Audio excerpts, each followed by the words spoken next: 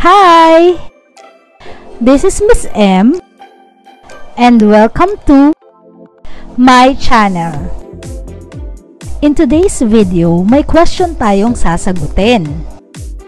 And that is, how to create a Bitmoji scene in Google Slides using only your smartphone or tablet.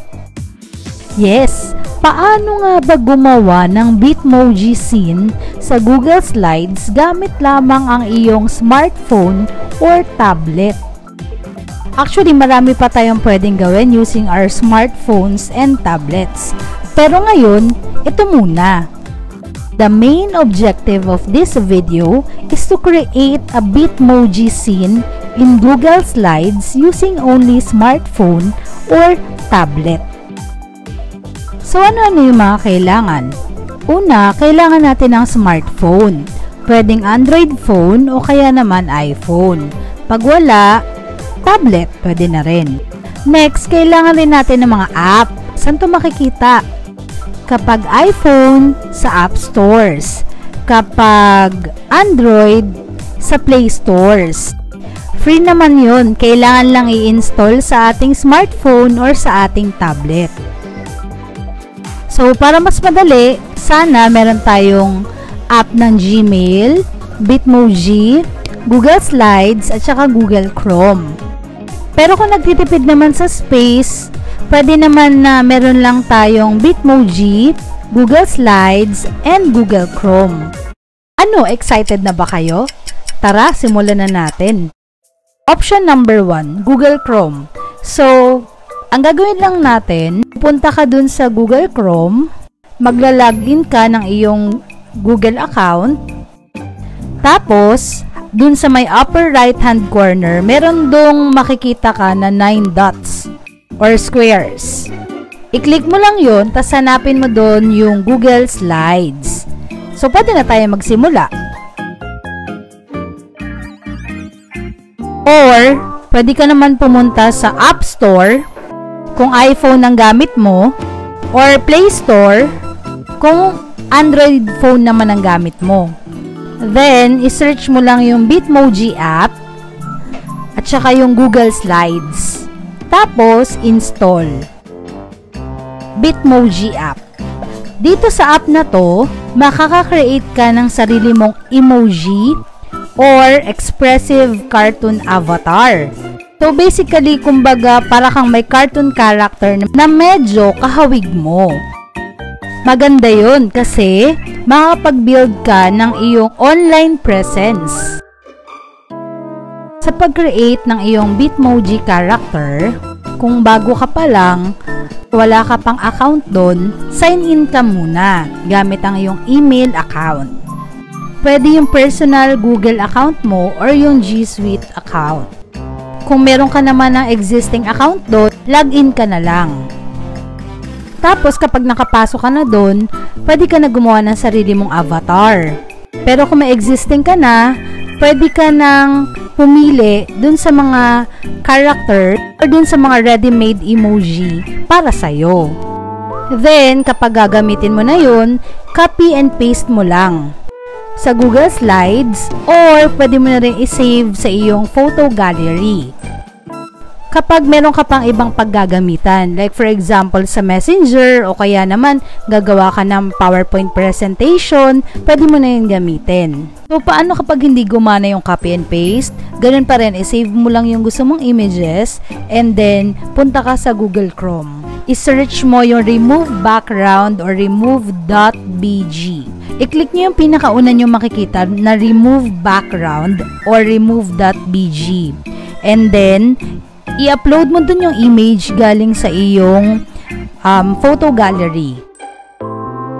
And hintayin mong ma-process. Saglit lang yon. And then afterwards, i-download mo na. Masisave yon sa iyong photo gallery.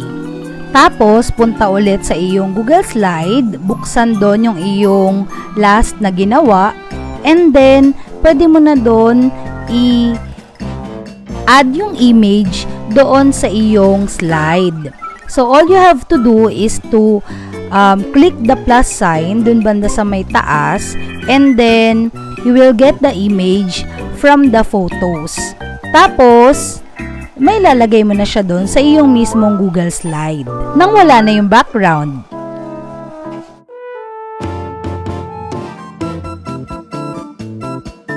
So, ano mangyayari kung hindi natin ginawa to? And then, hindi rin effective yung mismong copy and paste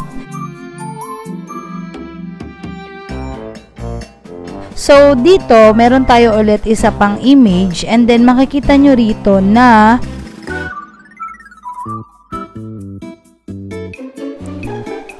nung na-save siya, still, nandun pa rin yung kanyang background, yung kanyang white background. Unlike dun sa pinakauna nating picture na hindi ganun. Yung background niya na remove.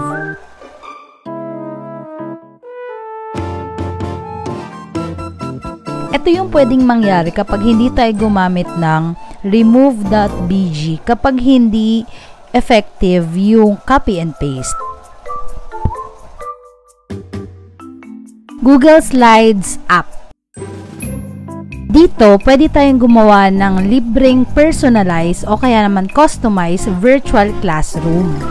With Google Slides, you can create, edit, collaborate, and present wherever you are. Maliban dito, pwede rin tayong gumawa ng PowerPoint presentation gamit ito na magagamit natin sa ating mga online classes.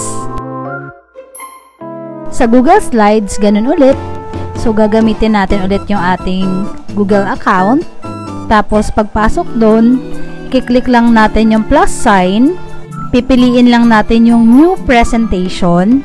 Papalitan lang natin yung name. And then, pwede na tayo mag-start. Google Drive.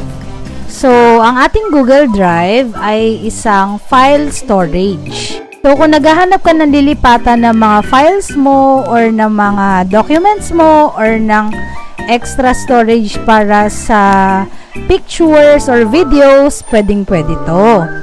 So, magandang app talaga to. All you have to do is to go to App Store if you're using an iPhone o kaya naman Play Store if you're using an Android phone. Then, isearch mo na yung Google Drive. Tapos, install. Dito makikita nyo na yung mismong ginawa ko sa Google Slides, nakasave na rin dito sa Google Drive. Ang galing, di ba? Google Chrome. So, we also need to install a Google Chrome app for Android phone and tablets and as well as sa mga iPhones kung gusto nyo ring mas madali. So, it is a safe and easy to use web browser. Kailangan natin to lalo na sa Bitmoji scene kasi dito tayo kukuha ng mga images. Pero, wag na wag nyong kakalimutan pag nagsisearch ng mga images, kailangan nating ilagay yung word na transparent image or transparent. Tapos kung ano man yung gusto mong image na yon. Why? Para kapag nilagay mo siya sa Google Slides, eh transparent siya at wala siyang white background or kung anong kulay man ng background na kasama niya.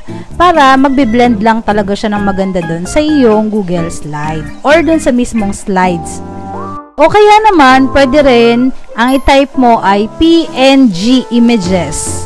Okay, ito yung Portable Network Graphics images. So, dahil dito, nagiging transparent na talaga yung background or parang wala ng background yung mismong image. So, mas madali na siyang i-download. Pwede mo siya i-save or i-copy na lang agad, tapos i-paste mo na doon sa mismong Google Slides. For iPhones naman, Safari app ang ginagamit. Pero, dun sa Safari app, may options naman dun kung gagamit ka ng Google Chrome or ng Google. So, nun din, i-search mo lang doon, tapos parehas lang din yung gagawin mo. Kailangan, paulit-ulit yon wag na wag mong kakalimutan. Ita-type mo yung transparent image para makuha mo na yung image mo mismo, yung background niya, transparent or wala siyang background na nakalagay. O kaya naman, PNG or Portable Network Graphics images para sure na sure na yung background ay wala or tanggal na siya dun. So, madaling madali mo na lang siya na magagamit at mailalagay sa iyong Google Slides. Ayan, so let me show you two examples of images na kinopy and paste ko sa aking Google Slide. Dito sa ating first image, ito ay PNG image. So, observe nyo na parang may kakaiba dun sa image. Parang na-crop na yung ilalim ng image. And meron din siyang parang checkered na gray and white dun sa kanyang background. Laptop ito and then ika-copy and paste lang natin ito sa ating Google Slide. Then, babalik tayo dun sa ating Google Slide and then ipipaste lang natin itong image na ito and then makikita nyo rito na yung mismong image wala na siyang background. Ganito yung klase ng images na kailangan natin para sa ating Google Slide. Compare dito sa ating second image, makikita nyo na yung kanyang background ay plain white lang walang part na parang na-crop na or parang dalawang image na magkapatong yung makikita mo dun. So, plain lang siya. So, then, copy and paste lang ito sa ating Google Slide kung saan makikita nyo dito na kapag pinaste ito sa ating Google Slide, ay nare-retain or naiiwan or kasama pa rin ito yung kanyang background.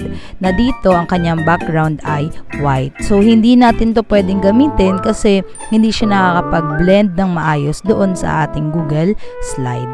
So, ano yung option natin? It's either gawin natin yung una na pinakita ko sa inyo or yung pangalawa, pwede na natin pwede na natin gamitin yung remove.bg or remove.background.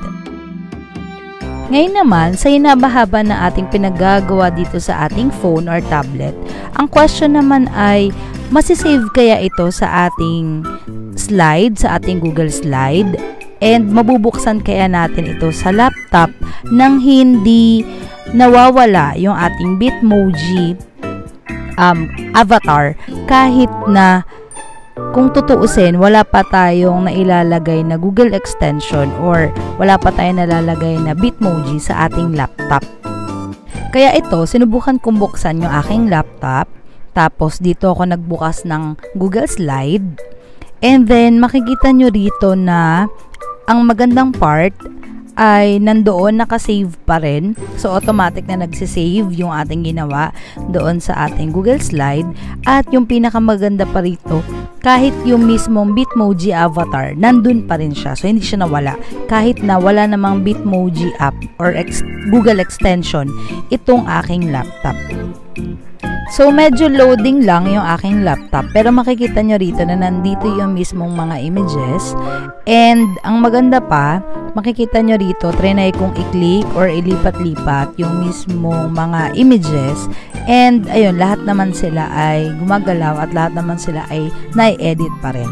So, yes, kayang-kaya at pwedeng-pwede na halimbawa naipit tayo sa traffic or kunwari nasa labas pa tayo, hindi pa tayo nakaka-uwi and then may spare time, pwedeng pwedeng tayong gumawa kung kahit saan ng ating Google Slide and then pag uwi natin ng bahay, kung gusto natin ng final touch ay pwedeng pwede nating i-edit or ayusin pa ito pag uwi ng bahay. O ba diba, ang galing-galing talaga niya. Pero paalala, kailangan na internet connection or mobile data para magawa yon. Now, it's your turn to try. O paano ba yan? Ikaw naman. Subukan mo. Balitaan mo ko ha. If you found this video helpful, please don't forget to like, comment, and subscribe to my channel. Don't forget also to turn on the notification bell para lagi kang updated. Thank you in advance!